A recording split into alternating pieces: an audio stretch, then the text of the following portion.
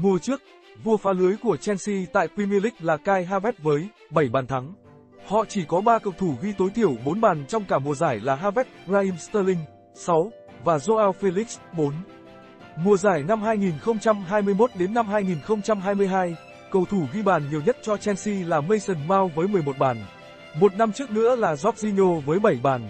Khi đó, Chelsea vô địch Champions League và hai lần lọt vào top 4 Premier League. Có thể tin rằng Chelsea không phải là câu lạc bộ cần một tay săn bàn xuất chúng để thành công. Mặc dù vậy, họ chắc chắn cần ghi nhiều bàn thắng so với mùa giải 22 phần 23 thảm hại với chỉ 35 bàn thắng, không tính phạt đền, sau 38 trận và xếp thứ 12. Hiện tại, Chelsea đang sở hữu số lượng cầu thủ trẻ khổng lồ trong đội hình. Tuy nhiên, Chelsea mùa trước cũng vậy, nhưng vẫn trải qua cơn khát bàn thắng. Vậy chúng ta có thể mong đợi gì từ Chelsea ở mặt trận tấn công mùa này?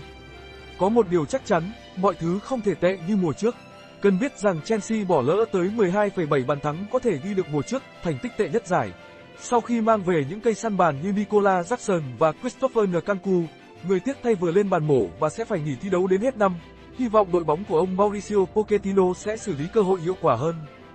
Tuy nhiên, ngay cả khi tận dụng triệt để các cơ hội, 48 bàn thắng vẫn chỉ đưa họ đứng ngang hàng với một Leicester đã xuống hạng.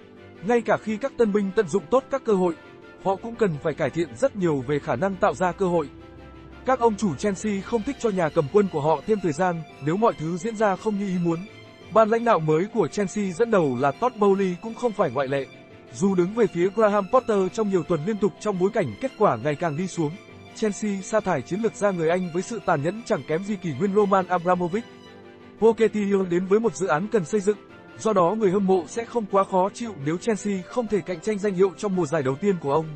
Hiện tại, Chelsea đã bán và giải phóng tới 14 cầu thủ và sẽ bắt đầu mùa giải năm 2023 đến năm 2024 với một đội hình gần như hoàn toàn mới. Nhưng dù đã mang về rất nhiều cầu thủ chất lượng cũng như một huấn luyện viên xuất sắc như Pochettino, đòi hỏi thành quả tức thì là điều không tưởng. Bởi Pochettino chưa từng thành công ngay lập tức ở những đội bóng cũ. Phải mất vài năm để các cầu thủ Tottenham Hotspur thấm nhuần ý tưởng của Pochettino. Khi ông tiếp quản PSG, đội bóng chỉ kém đội đầu bảng Lille một điểm vào tháng 1, nhưng họ vẫn không thể đuổi kịp dù có tới 21 trận đấu để lật ngược tình thế. Pop đã vô địch League 1 ở mùa giải tiếp theo, trong khi tất cả chúng ta đều biết tập thể Spurs của ông sau đó trở nên mạnh mẽ thế nào. Những gì đã xảy ra trong những năm tiếp theo ở cả hai câu lạc bộ cho thấy Pochettino có thể thành công nếu được trao thời gian. Với Thiago Silva, Chris James, Ben Chilwell, Enzo Fernandez và Sterling, Pochettino đã có trục dọc đáng tin cậy trong tương lai. Họ đều là trụ cột trong những năm gần đây. Dù là cầu thủ lớn tuổi nhất ra sân ở Premier League mùa trước, 38 tuổi, 248 ngày trong trận đấu cuối cùng của mùa giải với Newcastle, Silva đã chơi nhiều phút, 2352, cho Chelsea hơn bất kỳ bất cứ cầu thủ nào khác, trừ Havertz. James và Chilwell đều gặp xui xẻo với chấn thương trong những năm gần đây. Tuy nhiên, họ lần lượt xếp thứ 3 và thứ 6 cho Chelsea về số lần tạo ra bàn thắng ở Premier League kể từ mùa giải năm 2020 đến năm 2021, dù là những hậu vệ cánh. Trong khi đó, Fernandes tham gia vào các tình huống tạo ra pha dứt điểm trong 90 phút nhiều hơn bất kỳ cầu thủ Chelsea nào khác đã ra sân ít nhất 1.000 phút mùa trước, 5,8.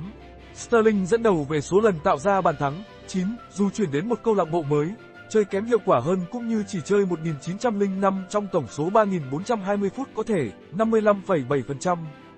Fernandes tham gia vào các tình huống tạo ra pha dứt điểm trong 90 phút nhiều hơn bất kỳ cầu thủ Chelsea nào khác đã ra sân ít nhất 1.000 phút mùa trước, 5,8. Đã có những nền tảng vững chắc để xây dựng. Vấn đề là liệu Pochettino có đủ thời gian để làm việc với họ hay không mà thôi. Dù đã đại tu mọi vị trí trong đội hình, Pochettino khẳng định ông hài lòng với việc Kepa Arrizabalaga là sự lựa chọn đầu tiên trong khung gỗ. Chúng tôi rất hài lòng với cậu ấy, nhà cầm quân người Argentina nói sau trận hòa ở trận giao hữu với Newcastle.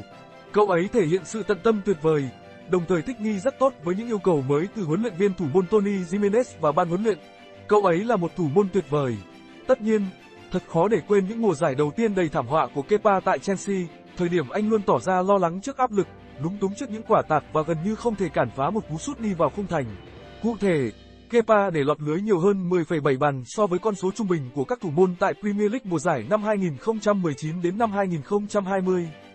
Nhưng sau quãng thời gian phải ngồi ngoài, Kepa đã hồi sinh ở mùa giải trước. Anh giúp Chelsea tránh được 6 bàn thắng rõ rệt, thông số tốt thứ ba tại Premier League. Kepa cũng là một trong những thủ môn giỏi nhất ở khả năng chơi chân. Tỷ lệ truyền bóng thành công của anh là 80,7%, cao thứ ba trong số các thủ môn thi đấu tối thiểu 1.500 phút ở Premier League mùa trước, chỉ sau Ederson 84,4% và Alisson 83,4%. Cần nhớ rằng cả hai thủ môn này đều chơi cho những đội mạnh hơn nhiều so với Chelsea mùa trước, do đó sẽ ít phải đối mặt với áp lực cao như Kepa. Khả năng điều phối của Kepa chưa bao giờ là vấn đề. Một khi anh đã thể hiện tốt ở kỹ năng cản phá, có lẽ đã đến lúc chúng ta nên gạt bỏ những định kiến của mình và chấp nhận rằng Kepa là thủ môn đẳng cấp nhất mà Chelsea hiện có. Sự xuất hiện của Robert Sanchez từ Brighton sẽ mang đến sự cạnh tranh. Nhưng với màn trình diễn của Kepa mùa trước, anh hoàn toàn có thể tự tin vào việc giữ được vị trí số 1. Bỏ qua Romelu Lukaku và Hakim Ziyech, đều 30 tuổi, hai cầu thủ nhiều khả năng sẽ rời câu lạc bộ mùa hè này, Silva, 38, Marcus Bettinelli, 31, Sterling, 28, Kepa, 28, Chilwell, 26, Marca Cucurella, 26 và Nkanku, 25 và mới đây nhất là Exo Disasi, 26 là những thành viên hiếm hoi trong đội hình của Chelsea trên 24 tuổi.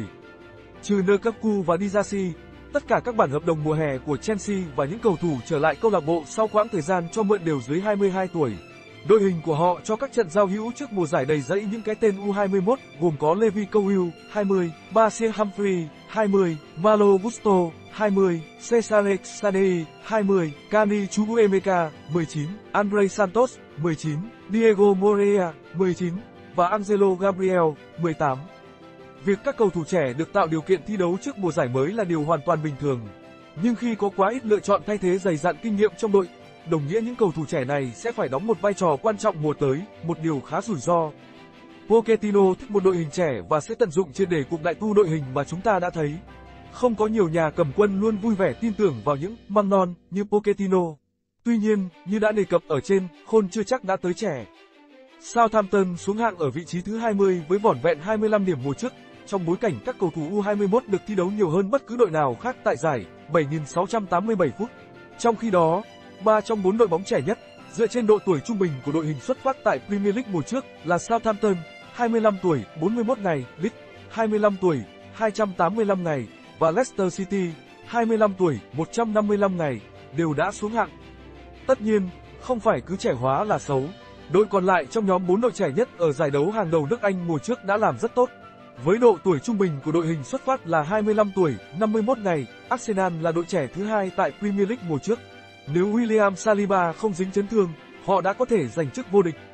Sẽ rất thú vị để xem liệu Chelsea có ký thêm những cầu thủ kinh nghiệm trước khi mùa giải bắt đầu, hay Pochettino sẽ bắt đầu chiến dịch với đại đa số những mầm non trong đội hình. Nếu làm theo cách thứ hai, ông có thể gặp chút rủi ro, nhưng phần thưởng có thể rất đáng kể nếu nó hiệu quả. Với việc thanh lý triệt để các cầu thủ thuộc triều đại cũ và mạnh tay mua sắm các cầu thủ phù hợp với triết lý của Post, Thể thao 5.1 tin rằng mùa giải này Chelsea sẽ trở lại mạnh mẽ và có suất dự C1 mùa tới.